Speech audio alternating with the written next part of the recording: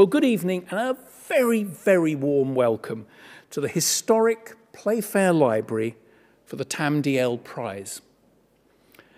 I'm Jonathan Seckl. I'm the Senior Vice Principal at the University of Edinburgh. And when I don't do that, I'm a Professor of Medicine and a humble hormone doctor. I'm utterly delighted that we're able to celebrate this evening the outstanding achievements in public engagement of two of my esteemed colleagues. This is our first in person Edinburgh Science Festival event since 2019, which seems eons ago. I'm delighted to see you all here. It's just fantastic that we can get together, albeit masked, but face to face, to do public things. Over the next couple of weeks, the National Museum of Scotland will host my colleagues who will be delivering a host of other in person workshops and activities, particularly for young people. So please attend if you can. But back to tonight. Sharing our science beyond academia and listening to ideas and challenges from the public is crucial. The Tam Dalyell Prize recognises University of Edinburgh colleagues who excel in science communication.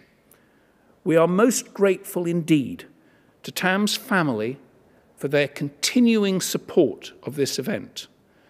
I welcome his son Gordon, daughter in law Pamela, and daughter Moira, who are here to join us this evening. Thank you so much for coming. The Tam Dalyell Prize is awarded in the spirit of the man himself. He was rector of this university from 2003 to 2006, and of course, famously, MP for West Lothian and then Linlithgow for 41 years, and finishing his career as the father of the House of Commons. But today we're looking at a non political aspect of Tam Dalyell his fascination with science and its communication. Perhaps the best evidence for this was 36 years he spent writing a weekly column for the New Scientist. Indeed, when he retired, his colleagues remarked, and I quote, the best columnists do not merely present opinions, they provoke, educate, pursue the truth, and challenge authority and orthodoxy. By those standards, Tam Dalyell has done an exemplary job. I think that really sums up his approach. Anyway, this evening I have the honour of presenting the 2021 Tam Dalyell Award, and it's to be given to Professor Philippa Saunders and Professor Andrew Horne. Both have made enormous contributions, not just by highlighting the difficulties experiencing those who suffer from endometriosis, but crucially, to listening to people, hearing what matters most to them, and using that knowledge to focus their research to make a real difference to the lives of millions who suffer from endometriosis. Philippa Saunders has influenced the development of engagement activities in our research community for many years. By encouraging her lab members and indeed the whole College of Medicine and Veterinary Medicine community to explore new formats of engagement and the ideas that she has come up with and contributed have built an environment in Edinburgh where we are sharing ever more of our science with the community even if that research is difficult, sensitive, or complicated. We recognize her for her leadership today.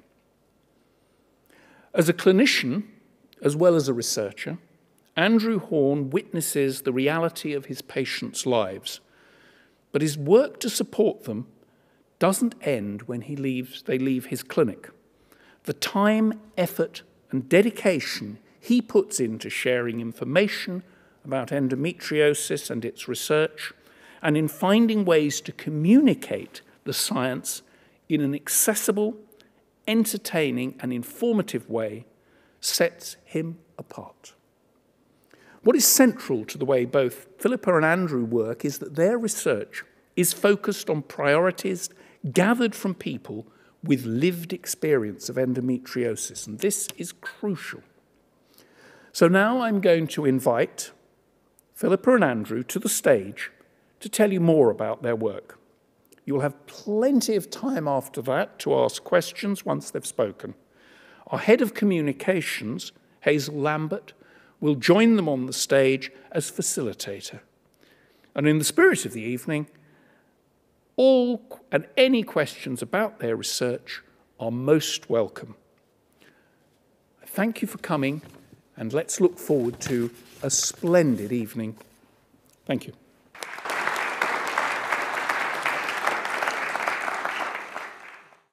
thank you very much, Jonathan, for that very kind introduction. Uh, Philip and I are delighted to be here this evening, and it's a huge honour to have been uh, given this prize. Um, as you are, are, aware, the topic of our, our lecture this evening is endometriosis, and I'm going to start the lecture and I'll shortly hand over to Philippa. Endometriosis uh, affects a staggering 190 million people in the world today, so it's an incredibly common condition. So this means that uh, someone somewhere you know is probably affected by endometriosis. Could be your friend, your partner, your colleague, your sister, your boss, your mother, your daughter. You could be affected by the condition. But despite endometriosis being so common, statistics in the UK at the moment show that only about 50% of the population have even heard of it. So, what is endometriosis? Well, endometriosis is primarily uh, uh, defined by the fact that people with the condition have very severe period pain. But people with endometriosis have pain often before their periods, after their periods, at any time uh, within the monthly cycle. And they can also have pain at other times. They can have pain when they pass urine, when they open their bowels, pain with sex. They can have other symptoms, heavy periods. They can have constipation, diarrhea. They can have difficulty getting pregnant. And like other pain conditions, they also can suffer from fatigue and depression. But if you Google the term endometriosis, you'll come up with this word lesion. And endometriosis is defined also by the symptoms and by the lesions. So, what is a lesion? Well, a lesion is tissue like the lining of the womb found outside of the womb, and lesions can be found almost anywhere within the body. Around 90% are found within the, the, the pelvis, and 10% at other places, sometimes even within the chest, even within the nostril, even within the tummy button. I'm going to focus on pelvic endometriosis, the, the commonest type, and I want you to look at this cartoon here. If you imagine that this is a section, if you've been divided through the pelvis, the female pelvis. And you can see the pubic bone here, the bladder and the womb, and then at the back, the rectum, and then the backbone. Um, and the commonest uh, subtype of endometriosis is what we call peritoneal disease, and this is shown in this image up here. And this is when you get lesions on the peritoneal wall. The, the, the, per, the per, peritoneum is the, is the film that's lining the pelvic cavity. And peritoneal lesions, you probably can't even see them here. They're very discreet. They often look like blisters. And this is a picture I took at, at one of my surgeries, and they're, they're almost blue-black in appearance. The other type of endometriosis that we see is deep disease. And this type of disease forms, the lesions form these nodules. And these nodules often involve other structures within the pelvis. They often cause scarring and adhesions. And here, this picture here shows the, the womb, the uterus, the rectum at the back, and this blue black uh, structure here is a lesion pull- pulling everything together. And then the third subtype we see are called uh, endometrioma, and this is a cystic form of endometriosis that you see on the ovaries. And these endometrioma, you can see, have this black appearance, and they're sometimes called chocolate cysts because of the, the, the color of the altered blood that you find within them. How is endometriosis uh, diagnosed? Well, endometriosis is actually quite difficult to diagnose. As you can imagine, if you have cystic endometriosis, That's fairly straightforward to see on, on imaging. And this is a scan picture of an endometrioma on the left ovary, and it has this characteristic, what we call ground glass appearance. Deep endometriosis, again, can show up on, on, on imaging fairly straightforwardly. Um, here, the uh, deep endometrioma, endometriosis is just between the uh, uterus and the rectum at the back. And you can see on the MRI scan where it is, and it almost looks like all the structures have been pulled apart because the anatomy becomes quite distorted with uh, the deep disease. But the commonest type of endometriosis, the superficial type, as you can imagine, is, is very difficult to see. You can't see it on imaging.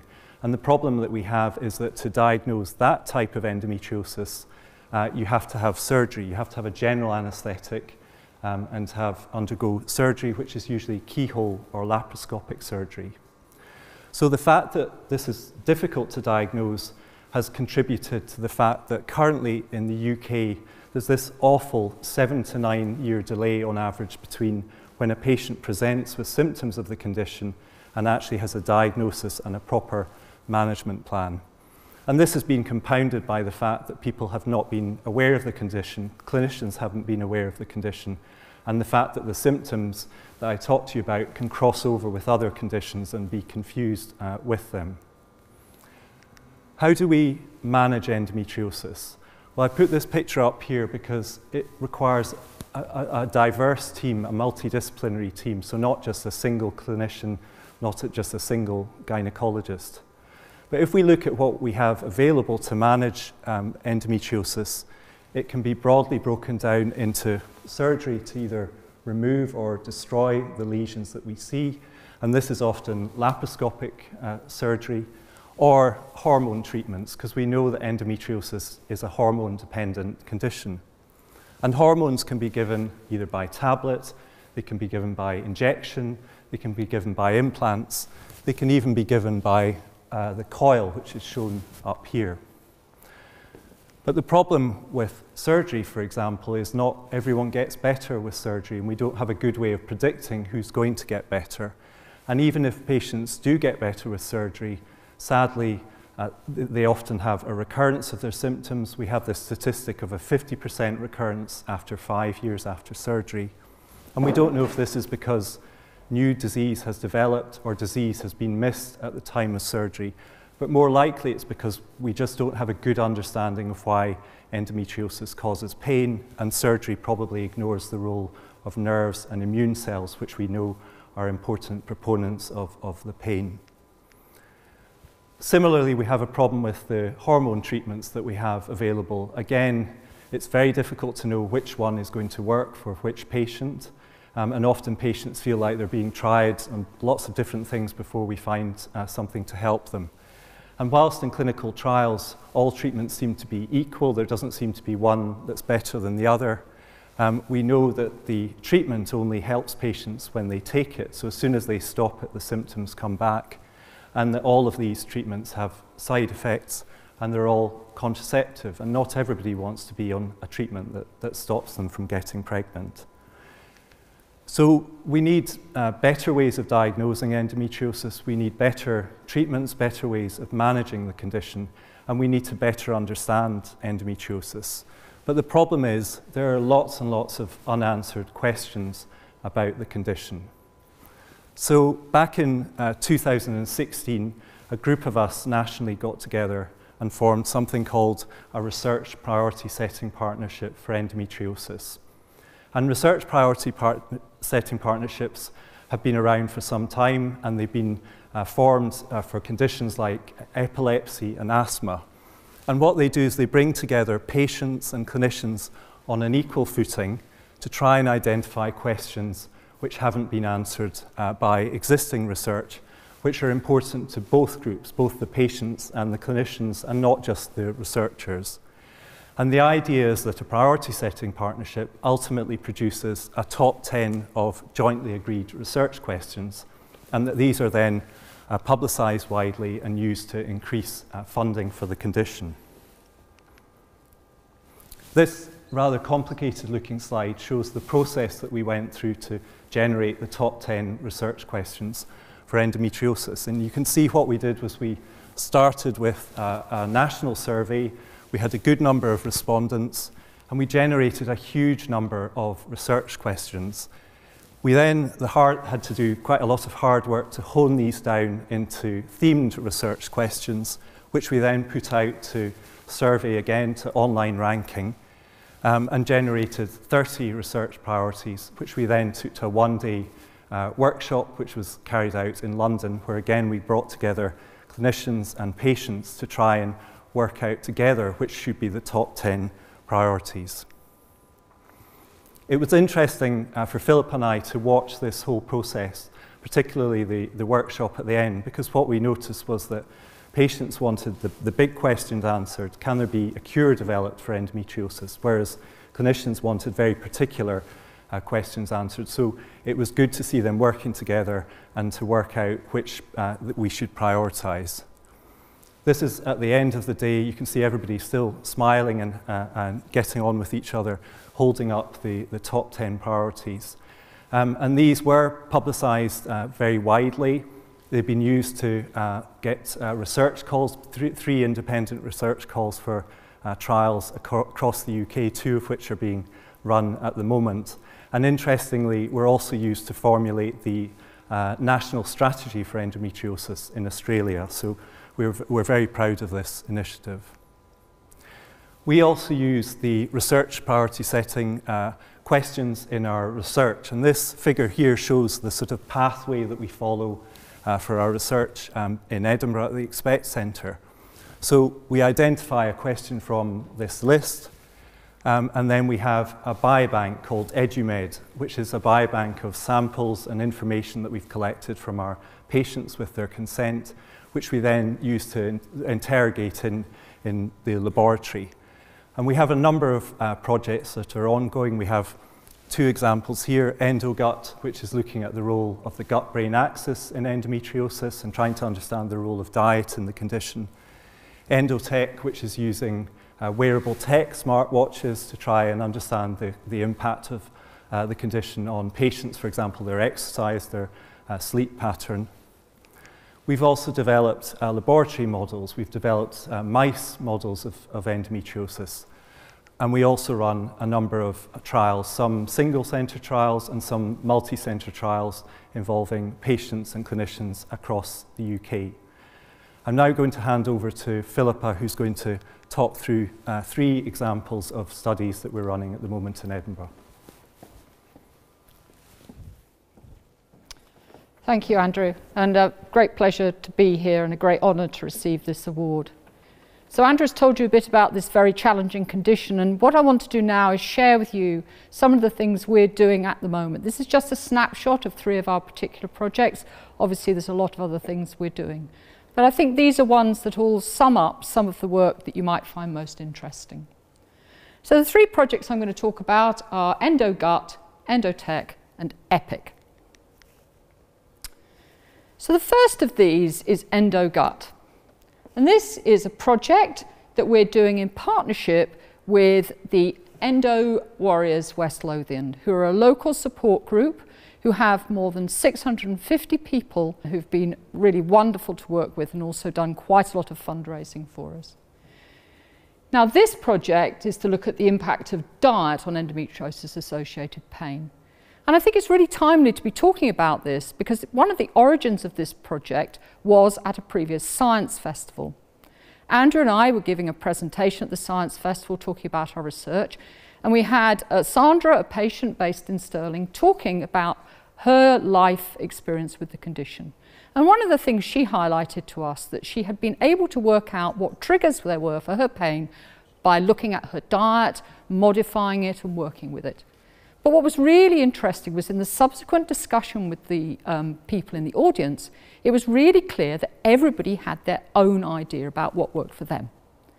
And actually, when we went looking into the literature, we found there were really no very good studies looking at what triggers there were for endometriosis pain based on diet. Although we know from talking to the patients that many of them do eliminate things from their diet as a pain management strategy. And that was the origin of this project. So this project's being undertaken by a very talented PhD student, Francesca Hearn-Yates. Now, Francesca is enrolled on one of our flagship College of Medicine programs, which includes formal training in public engagement. We're doing the project with Siobhan Mahoney in Ireland and David MacIntyre in Imperial in London. And that's because Andrew and I are not experts in the diet and pain world. Siobhan has years of experience looking at surveying patients, asking them about their diet and how they manage their pain. But she'd never worked on endometriosis before, so that's been really exciting for us and for her. David, on the other hand, is a reproductive expert, but he's been looking at metabolites and he has access to some really wonderful um, assays. So we've formed a team to do this project. So this project is based on the really rapidly emerging field, which is now beginning to highlight how the microbiome in our gut, which we all have something slightly different, might influence our pain perception. We're all familiar with the idea that what you eat might influence pain from all those years of migraine sufferers saying, oh, it's chocolate or it's cheese or what, red wine. But we've never really understood the mechanism until recently. But there's now some really interesting studies. There was one done just last year in America where they asked individuals to eat more fermented foods, and they found that really helped their inflammatory pain. So the idea here is the bugs in your gut will make metabolites. They'll get out of your gut and into your circulation. They'll have an impact on your immune cells, they may have an impact on your nerves, and if they have an impact on your nerves, they can also affect your brain perception of pain. And there's really good data now showing that there's an impact on visceral pain, maybe on inflammatory pain, neuropathic pain, of course I've mentioned headache.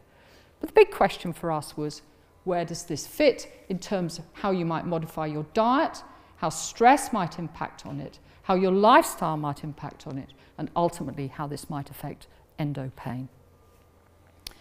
So this is a big area to get into. So we've broken it down into a few phases in collaboration with the patient group.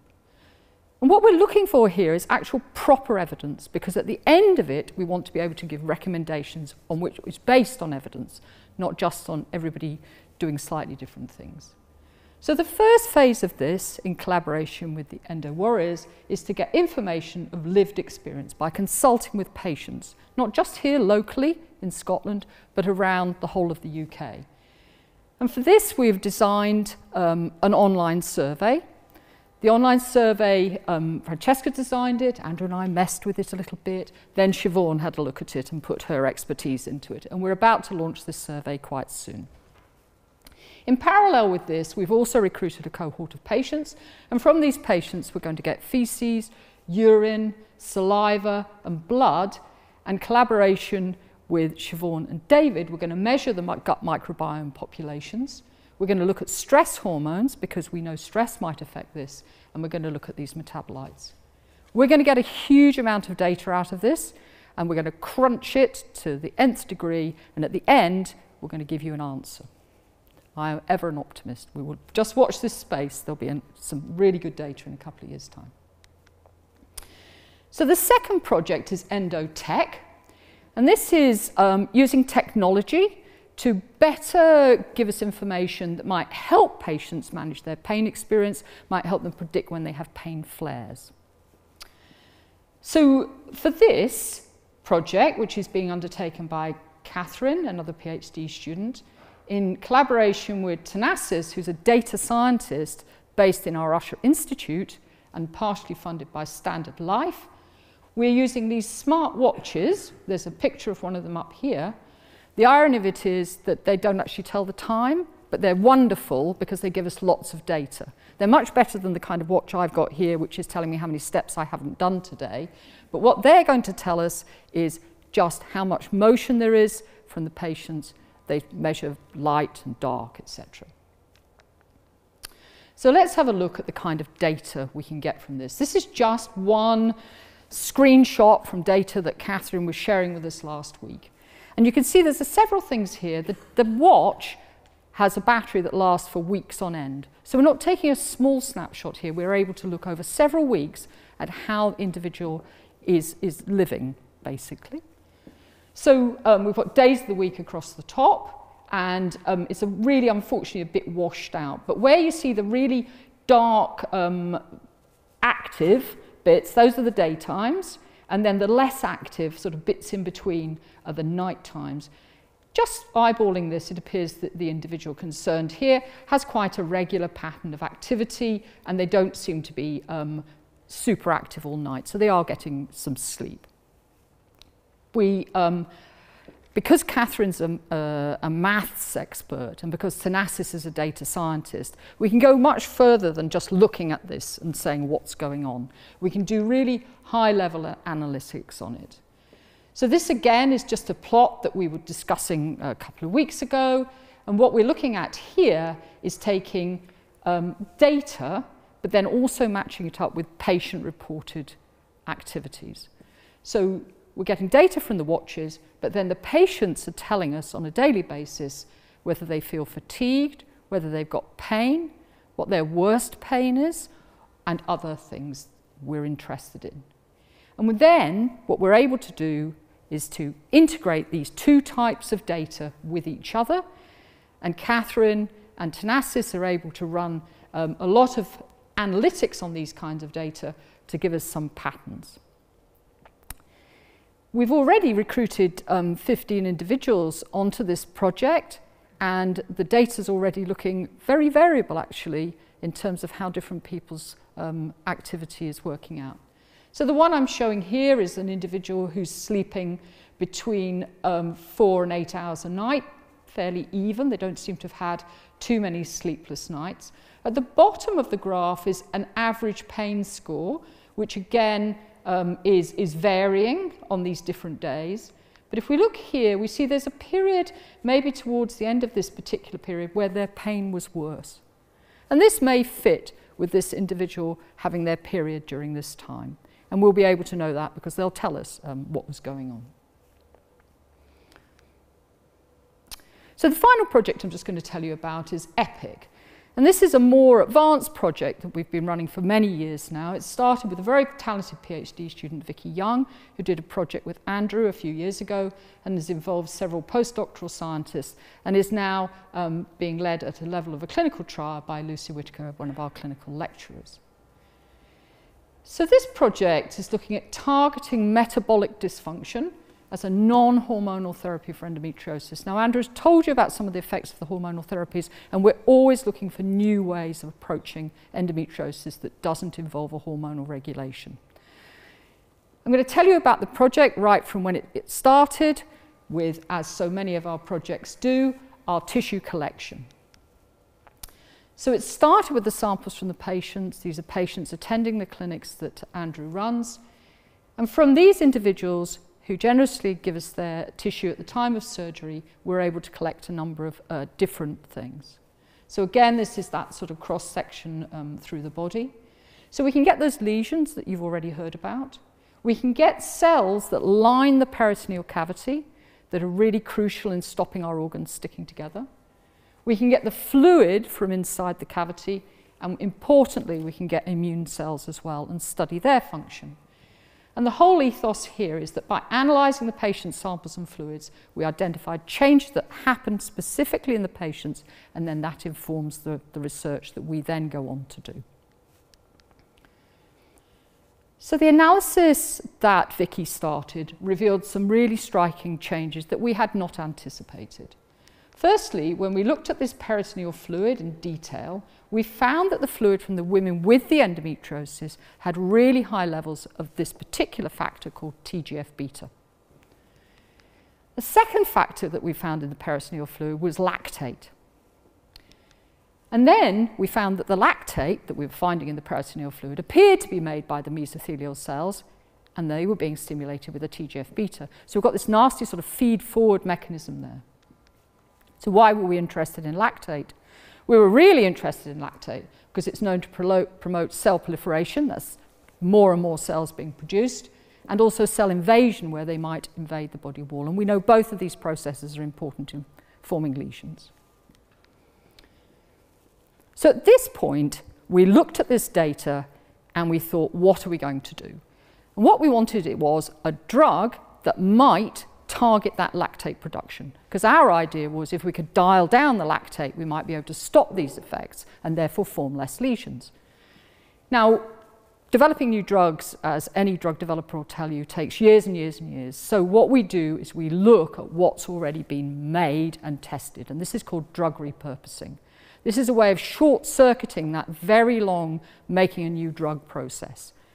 So we went to the drug repurposing library, and we looked for something that we thought would be ideal for our particular purpose. And I wouldn't be telling you this if we hadn't been successful in finding something that did seem to fit the bill. And the thing that we found in the drug repurposing um, backdraw was something called dichloroacetate. So, dichloroacetate was interesting because it targeted one of the enzymes that we knew was in the mesothelial cells and responsible for making the lactate. It's been around for a long time and it's been used to to treat children and it's very safe. Sometimes when it's been used at very high doses, it's had some slight minor reversible side effects, but we were never going to use it at those high doses. So this was our take home, let's test it drug. So we went back to the lab and we prepared the first of the assays to test the dichloroacetate. And for this, we used the cells I've been telling you about, and we produced something called a lesion in a dish. So let me explain our lesion in a dish. So what we've got on the bottom of this dish are those mesothelial cells which we've taken from the patients which were lining their peritoneal cavities. And this is the equivalent of that peritoneal wall. In a, in a um, small chamber above that, we, on a semi-permeable membrane, we put the stromal cells that we've taken, which would be the equivalent of the lesion. So we've got the two of them, they're not connected with each other, but they're there, and they're being bathed by the medium, which is the equivalent of our peritoneal fluid. So there we've got the peritoneal fluid, and we can add the TGF-beta to the peritoneal fluid. That makes the mesothelial cells make the lactate, and then what we can do is test the drug. And this produced a really good result because it showed that the DCA reduced the amount of lactate, and the amount of lactate was reduced and then the stromal cells didn't divide as much. So we felt this was sort of like a surrogate for potentially we might end up with smaller lesions. But we needed more evidence for the funders before we could go to a full clinical trial. And for this, we turned to a mouse model. Now, mice don't get endometriosis. Mice don't normally menstruate. And menstruation is one of the primary triggers for endometriosis. But we can do the work in the lab and mimic the process of menstruation in a mouse. We can use this menstruating mouse to answer all kinds of other questions about heavy bleeding and other things. So we produce a mouse which has some menstruating material. We transfer that material into another mouse, and this mouse ends up with endometriosis lesions. They look just like the ones in the women. They've got immune cells, nerves, they've got a blood supply. And this is the platform in which we can test the drug by giving it to the mouse one week um, just orally. And this produced a striking result. On the bottom here, you see the size of the lesions, and I don't need to tell you which is which. The control one is the red, and the one where the mouse has had the DCA is the black. Now, this evidence was sufficient for us to press on to do a clinical trial and to get the funding to do that. And Andrew's going to tell you more about that.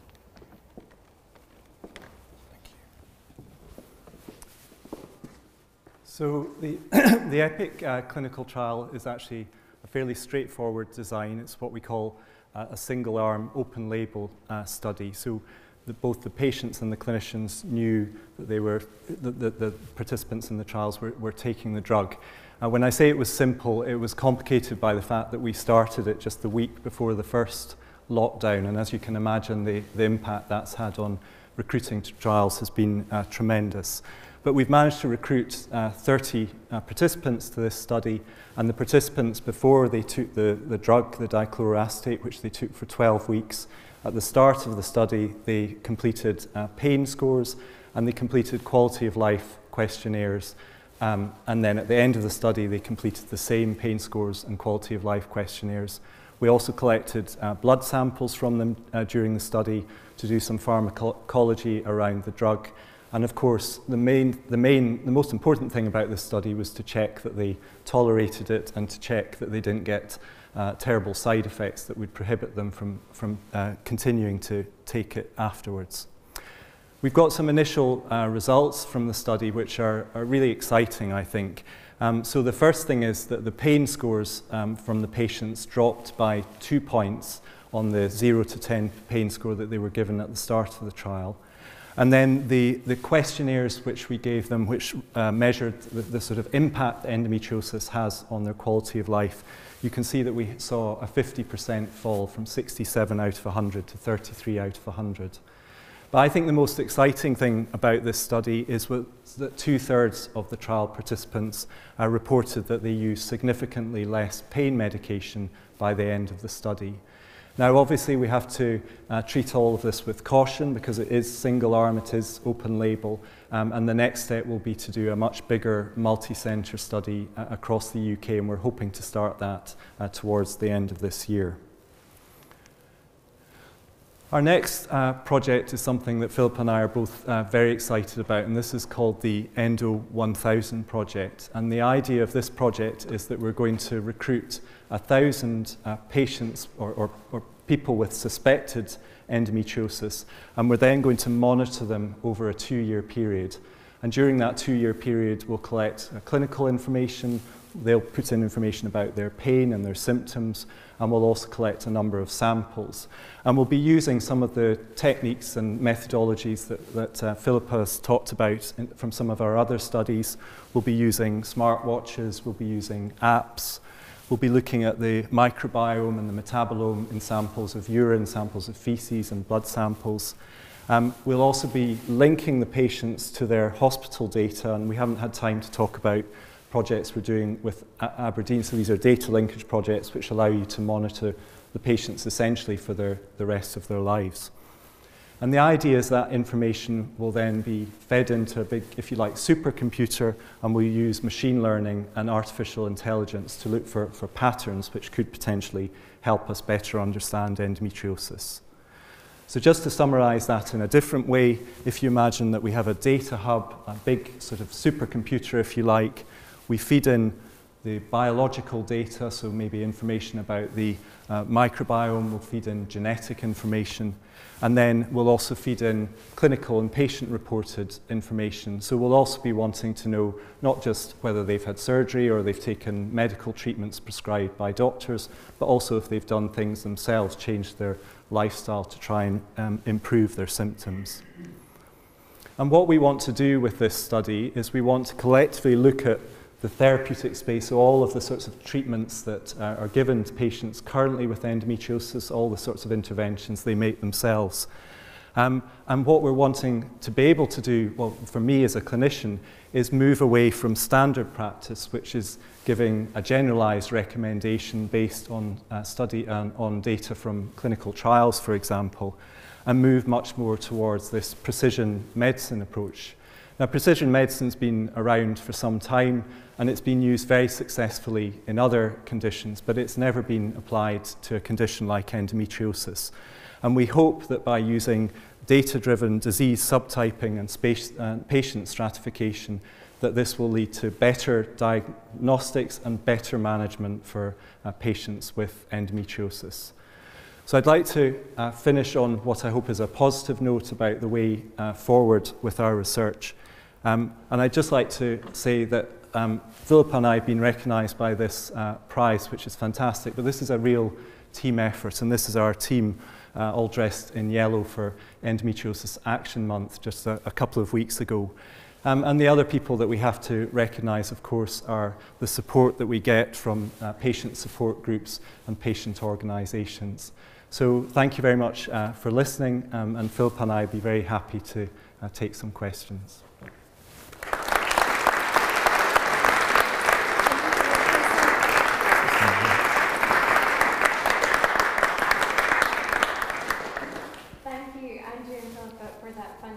Presentation and congratulations on your award. This is now the fun bit where you all get to ask your questions. For two years, we have been doing this online, and the advantage of doing a Q&A session online is that we can read the questions before we ask them. So Philippa and Andrew have reassured me that they are happy to answer absolutely anything. There are no silly questions, so please do raise your hands nice and clearly so that I can see you. Heather and Kevin have microphones. The microphones are already switched on, so when they hand them to you, you don't need to try and switch them on. Now, there are lots of people who would have loved to have been here this evening but couldn't make it. So we are recording this session, and that means that we will have evidence if somebody asks a question that then sparks another research study. So, no pressure. Last event was 2019, and you've just told us about the work that you're doing now because you did a science festival event. So that is really, really exciting for us to hear, and another, you know, reason that you've received this award today. So thank you. Um, so if anyone is feeling brave and would like to go first, oh, there we go, right next to you, Heather. Thank you. Thank you so much. That was absolutely fascinating and well done and well deserved on the award. I'm glad that no question is a silly question because I'm not Sci- my background is not science, so here goes. Um, but I'm wondering the relationship between research like this and the GPs on the front line, because for a lot of us, that's our, th- these are our gatekeepers. And certainly the, the way we describe symptoms, the, the way we describe the pain is, is really quite difficult. And obviously, for a lot of GPs, with this new research coming through, that's that for, for many people is the challenging point, the challenging point in the relationship. So I'm wondering how you as researchers have those conversations with, with GPs. We've even got a GP in the audience, but So, so we, we do work uh, very closely with GPs because, as you say, they're, they're the first interface. And we worked with the Royal College of General Practitioners to produce a, a package which we hope is helpful for GPs in terms of communicating and discussing the condition. I think, I think in terms of research, um, that, that's a, probably a, something that we don't do very well. Um, we maybe don't do so much multidisciplinary research that reaches into primary care. Um, so it's definitely something that we should uh, think about more, more closely um, in future studies. I mean, it is, um, we had a, a research day at Warwick University um, late last year, and I was really, really interested in the presentation from a GP about the challenges that she was facing. Um, and what she said was, you know, it, it, one of the real problems is we've emphasized, probably not enough, how very complicated it is in terms of symptom presentation. And, and this is what's holding things back. So the other thing that's happening is there's a huge amount of effort going into diagnostics, which we haven't talked about, but we are working with groups around the world and huge numbers of patient samples to try and maybe get better genetic signatures, better ways of helping the GPs triage people, because because it must be very difficult um, to, you know, when you're presented with someone who might be having bowel symptoms or got pain or they're worried about infertility, to really know what it might what it might be. And the other thing we were talking to colleagues, we're in a, quite a few EU projects. It's very interesting how different countries manage these things. And, and colleagues in uh, Denmark were saying that any young woman who, who went um, just to primary care with any kind of pain would just immediately put, be put on a contraceptive pill when they were quite young. And that, that might also help them. Of course, the thing is, none of this is a cure, really. It's, it's interesting, in, in Denmark, um, they actually have, everybody has an app and they can connect directly to their own records.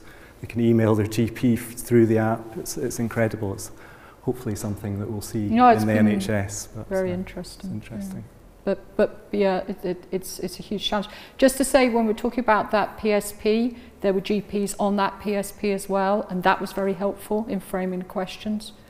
So it's, it's just a question of just keeping at it all the time, I think. Andrew, on that note, we know something from your earlier research is that a woman may go to her GP many, many times, um, reporting pain, reporting different symptoms. What are the things that help get the diagnosis? What are the things that people need to be prepared and take with them to be listened to? Do you have any advice about that? Um, so I think it's, it's often helpful that there's, there's symptom diaries that people can complete, and I think that's helpful then to be able to go to your GP and say, you know, there's a pattern to this, maybe it's happening every day, or maybe it's happening at a certain time in, in the cycle. We talk about red flag, flag symptoms, and this cyclicity of symptoms is something that a GP or a clinician would uh, pick up on.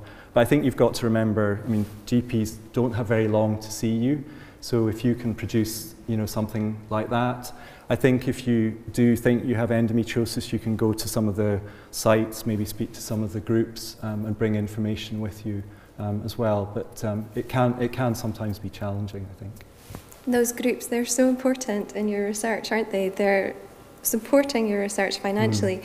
but they're contributing to the research itself as well, yeah. aren't they? Yeah, it's very much a two-way process. Two-way process.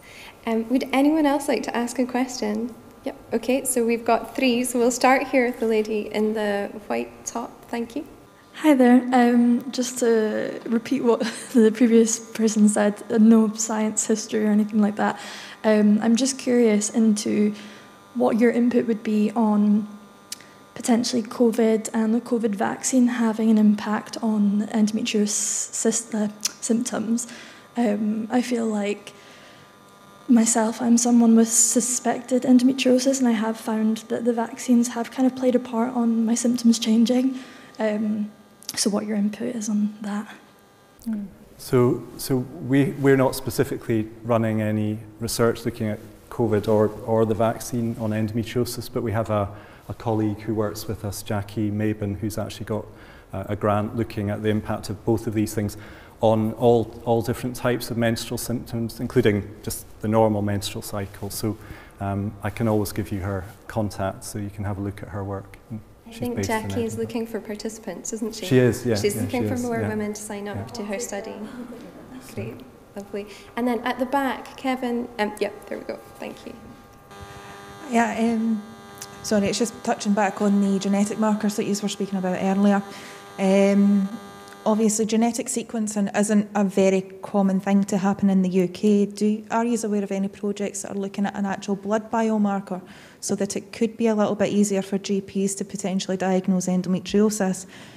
And to kind of further to the question with GPs, is there any efforts going into actually teaching them more about endometriosis to end the medical gaslighting that we experience as patients? Because personally, and I know that a lot of other women in the room are the same um, that have the condition, it took me 14 years to get to my diagnosis after presenting multiple times with symptoms to be constantly turned away by my GP saying it's just a bad period. So, shall I just talk about the biomarkers, then I'll hand over to Andrew just to talk about the work that is going on in, from the Royal Colleges in terms of education. So, so that the holy grail of a biomarker would be a blood test that gave us really good um, fidelity and a, a really good prediction. So there's been a number of different ways that this has been approached. Um, and I think we are getting to the point where we're really making some progress here. We've been partnering with um, a large pharmaceutical company who've put a lot of work into this and they've been using samples from our patients and other patients and they tell us they think they have a, a test that they're going to be able to um, test soon. So that's based on proteins in the blood. An alternative um, endpoint that's been patented actually by people in the USA is to look for small fragments of DNA. These are called microRNAs. Um, colleagues in, in America believe that they have found a pattern that they think is predictive. We are waiting to see whether that will be replicated in other, in other centres.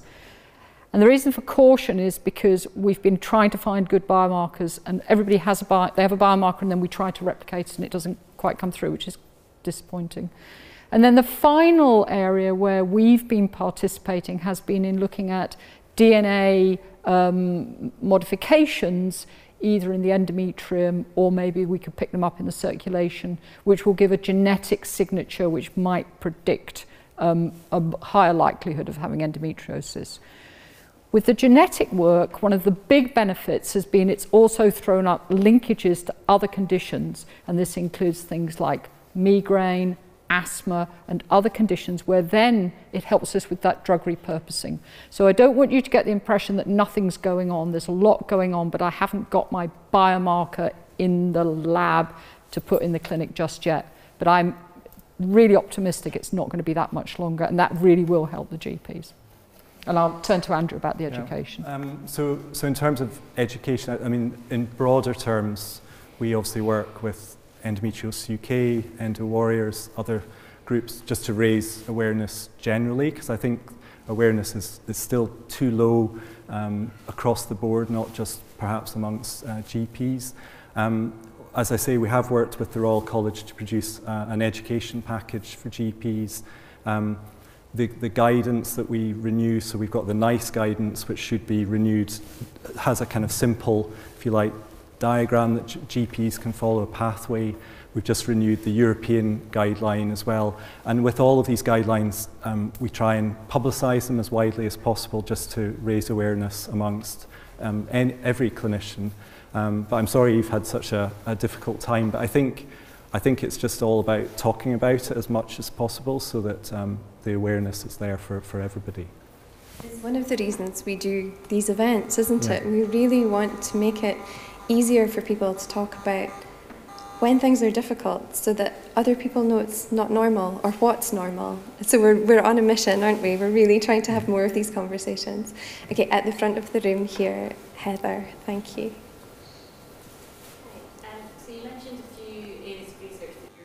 What are you most excited about as being a sort of potential route for improving quality of life for women with endometriosis? So, of all your research projects, which are you most excited about in terms of improving quality of life? Um, reducing I'm, I'm that pain? personally completely into this diet one, and I tell you why. Because there's um, other fields where we can clearly see that the microbiome is having an impact on the, on the brain axis. And um, as I, I mentioned very briefly, there was a, you know, I, I'm one of those people who's always looking for another paper that might be relevant from another field. And last year there was a really lovely paper published from a big group in America where they'd taken um, individuals and put them onto new diets for 12 weeks. They put them onto either a high fiber diet or a fermented food diet. Um, I mean, I thought the fermented food diet would be lots of kimchi and stuff, which, you know, wasn't immediately appealing, but it turned out to be sort of biological yogurts and, you know, the kind of Yakult that I would have every day.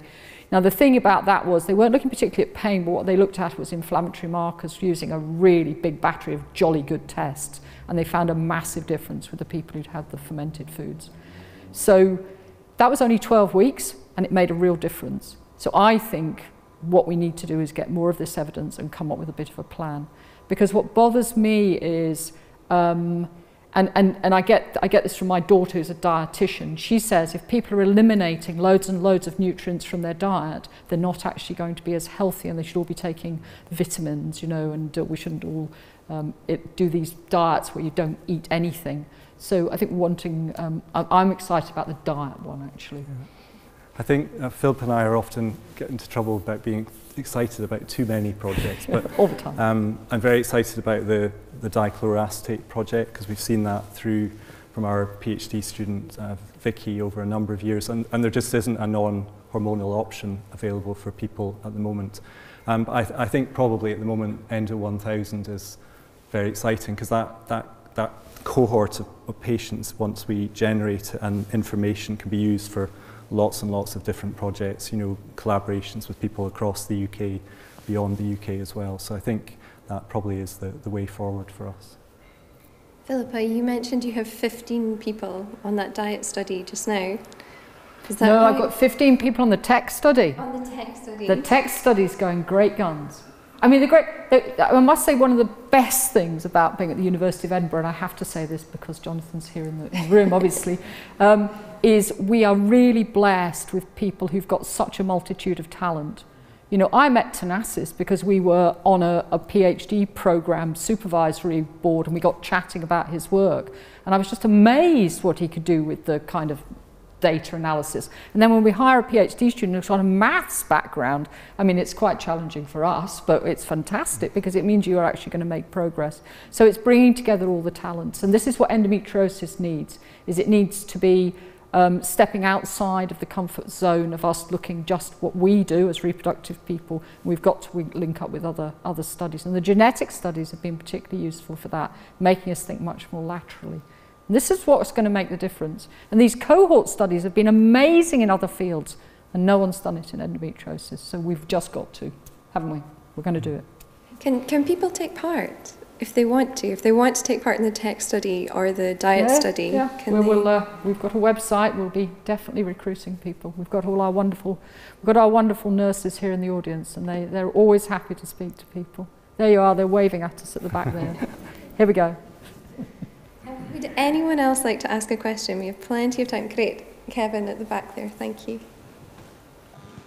Do you think that the incidence of endometriosis is increasing? Or is that a reflection of the fact that people are slowly becoming more aware and more interested? Or could you speculate about any other factors that might be contributing to a perceived increase? So, is there an increase, or is there something else going on? I, I think it's it, it's very difficult to tell. I think I think it probably is people speaking up and people realizing when something's not right and maybe, you know, having the courage to go and speak to their, their GP or go to a doctor about very severe pain, because of course pain's invisible, it's very subjective. Um, and as we've heard, it's often difficult to be, get listened to. So I think, I think there's, there's that. Um, I, I, don't know, maybe, I mean, obviously our diet has changed a lot, and that's something, as you, you've heard, we're very interested in. Maybe that's having an impact. Um, but I think we haven't, um, even now, the estimates of the, of the incidents are, are estimates. We haven't had very good means of collecting information. We don't have a, a registry of patients with endometriosis. So that, again, is something that I think would, would help move the field forward. I don't uh, know if you have. Yeah. No, I'm just going to say, and it's hugely underdiagnosed in outside of first world countries. So, you know, most of the research has been done, has been done in um, North America, Australia, the UK, and, uh, and Europe. Um, there's um, huge amounts of endometriosis clearly in countries within Africa, but it's very rarely recognised. There's also social taboos that make it very difficult for some groups of women to talk about having a reproductive disorder. Um, so I think it's much, much more prevalent than we know. Um, and also the diagnosis being for this superficial disease being based on surgery. Um, we, we a number of years ago were getting um, donated samples from individuals who were just having um, a tubal ligation for a, um, to stop their fertility and we found endometriosis lesions in individuals who'd never reported having any symptoms. So it's this difficulty of there being lesions in individuals who maybe never reported a symptom because they thought it was normal, or maybe they didn't have a symptom. And then there's really, really strange data showing that the amount, you know, amount of these superficial lesions doesn't correlate very much with how much pain you have. And that may be because we're just not diagnosing it properly. But the answer to your question is I think it's far more prevalent than we know. And actually, there's huge parts of the world and social groups who are not being served at all. And that, that is something we should all be much more aware of. I think we have time for one or two more questions. So if there's anything anybody would like to ask, now is your chance. Yep.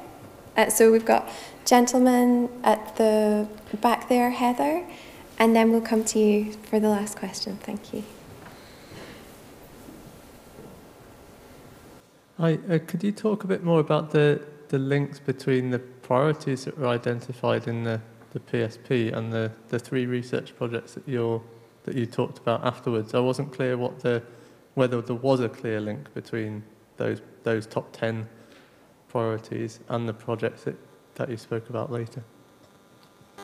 So um, the if I could take the the trial one first, it was to look for alternative uh, ways of managing endometriosis, which weren't you know, the standard uh, hormonal management um, and surgical management. Um, if we look at the other studies, there was one, one of the research questions was again around lifestyle, that's, that's self-management. Sort of self-management.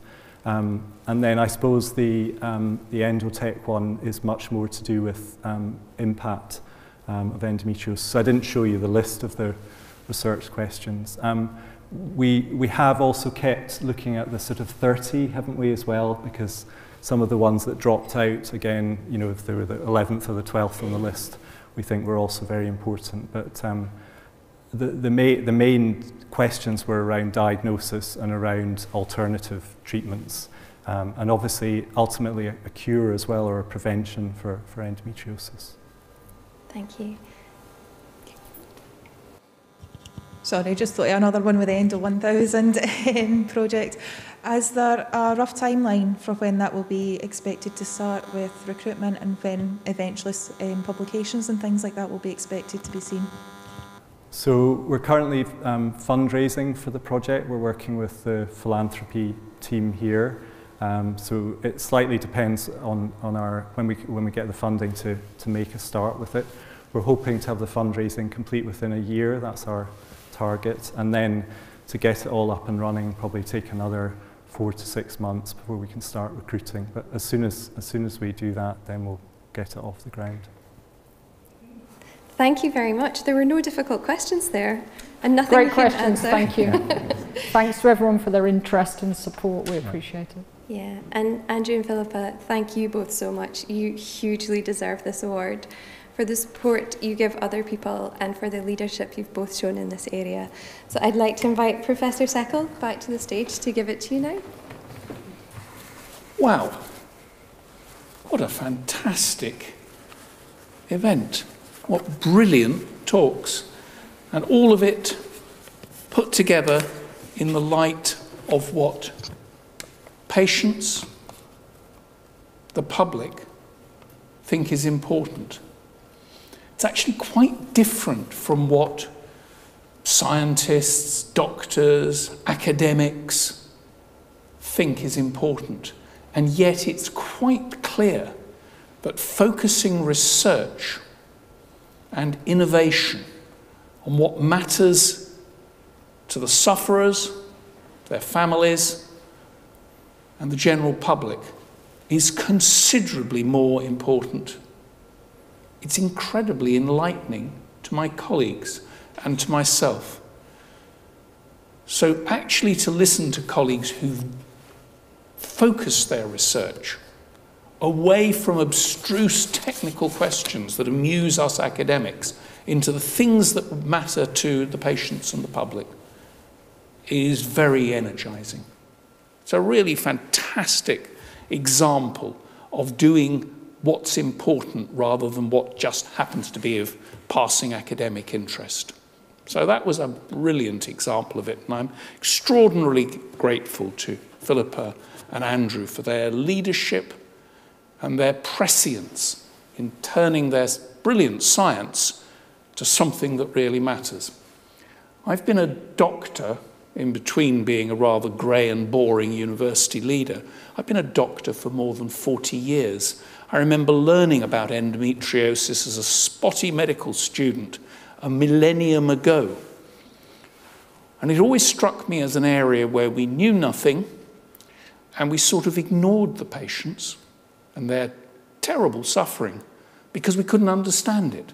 And now, for the first time, I hear of vision, understanding, and substantial progress. So, thank you, colleagues. I think I'm going to buy shares in dichloroacetate, though I suspect it's a very simple molecule you can buy, buy over the counter.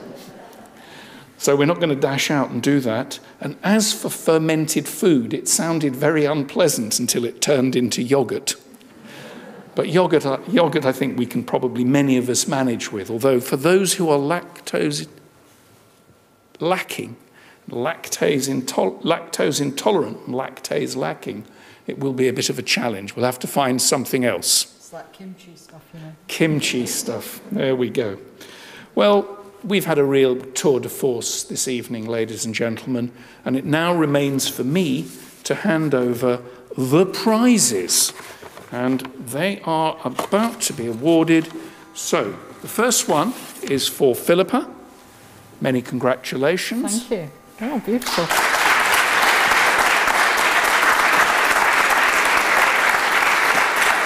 I feel like I've won Master Chef or something. This is really nice. and the second is for Andrew.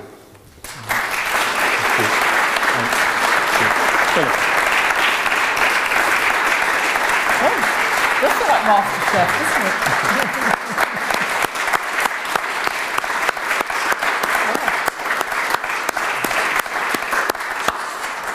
Super.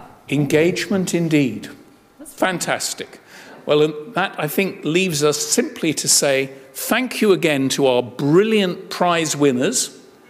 Thanks again to the Dalyell family, to Tam, up there somewhere, for his brilliant sponsorship of outreach and engagement in science, and to thank the audience for your patience and for attending. There are a little bit of refreshments, I'm told, somewhere nearby. I hope somebody will. Yes, they're just behind you. So don't dash away. Interact, talk to my colleagues, to myself, and enjoy the refreshments. But the formal part of today is over. Thank you for coming on a Sunday evening.